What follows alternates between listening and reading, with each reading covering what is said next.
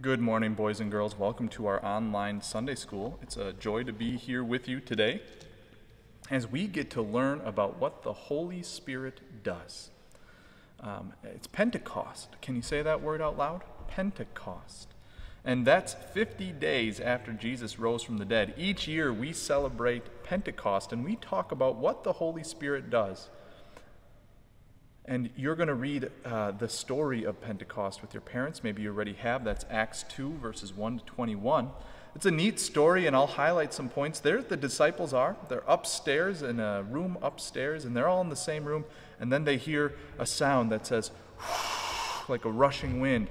Maybe you remember the storm that came through the other day, and you remember how loud that wind was. Then, I got something for you as well. Then they looked around, and all of a sudden, they saw what looked like flame on top of their heads going around and and they were wondered what's going on but god had given them those two signs the rushing wind and the flame on top of their heads to say you're now filled with the holy spirit because jesus promised he was going to send them and god many centuries earlier had also promised that he was going to send the holy spirit. So what does the holy spirit do My question for you is how do you know who Jesus is?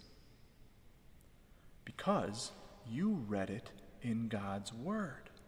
That's what the Holy Spirit does. He works through God's Word and He tells people through the Bible about Jesus, what Jesus has done, that He died and that He rose and that He is now um, in heaven ruling all things for us, and Jesus is with us always. So I brought some things here to show you and to encourage you. Uh, some neat things. On Pentecost, another cool thing that happened to the disciples was that the disciples began to speak other languages. Why? Because those people from other countries who didn't speak that same language needed to hear God's word about what Jesus has done. So I brought some Bibles.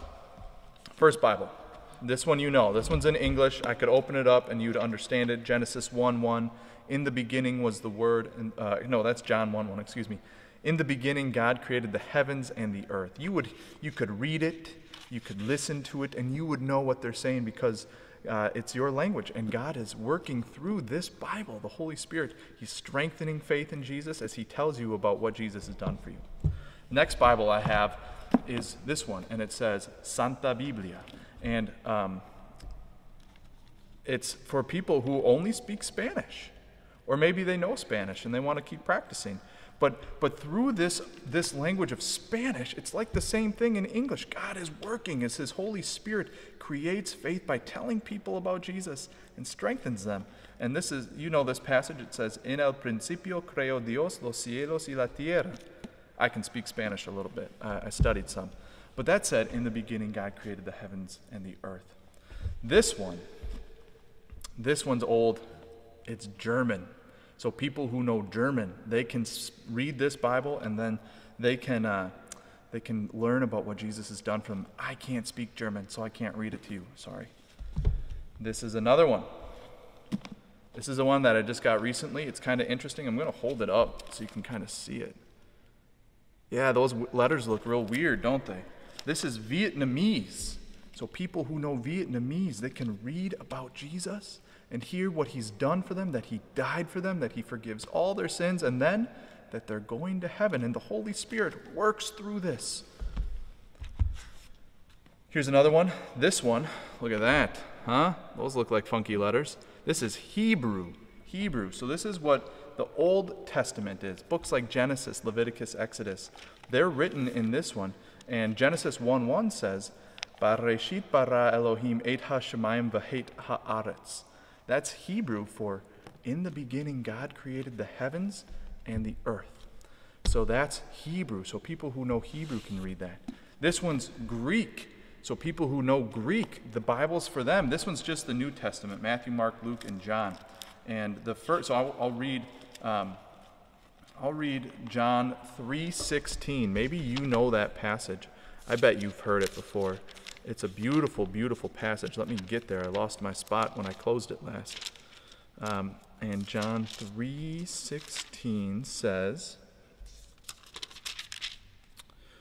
hustus gar hegapesen hatheos ta cosman hosta ton huion ton monogene ho pistoion auton me apoletai zoen ionion.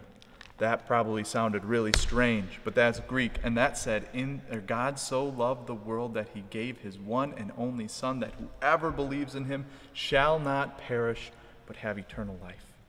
It's through the gospel, through God's word, whatever language it might be, all these different Bibles, right?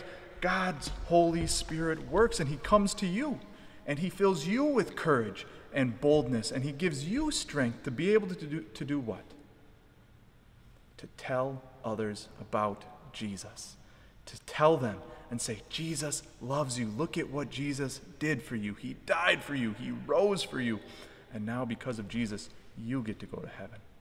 That same Holy Spirit that was with the disciples as they spoke different languages and made them really brave and really courageous to go to places they've never been before and tell others about Jesus, that's with you. You got it through God's Word. God gave you His Holy Spirit through the Word and also in baptism. God gave you His Holy Spirit, so He is with you as He works through His Word, as you tell people about Jesus. He's with you. Let's, let's fold our hands and pray. Dear Lord, thank you for speaking our language and telling us about Jesus in the language we can understand. Thank you for giving us your Holy Spirit who brought us to faith through the word and through the waters of our baptism, who continues to be with us to strengthen us and to help us and to keep us. Help us tell others about Jesus because of your great love for them too. Help us share your word through which the Holy Spirit works. In your name we pray. Amen. Well, boys and girls, we will see you next time. Take care.